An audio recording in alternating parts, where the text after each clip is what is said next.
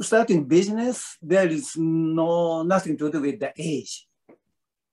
And um, once you have a dream strongly, I think we should keep dreaming. You know, it took me nearly 50 years, but now it, my dream comes true, right? So, and everybody has some dream, you know, even to run a restaurant, to become owner of something, or become some of the president. So, and you, everybody face, of course, in between some issues and problems, and people tend to forget. Yeah.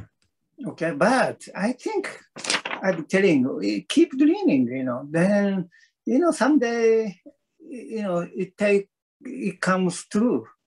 Okay, some maybe some different way, but maybe if you keep dreaming, comes true.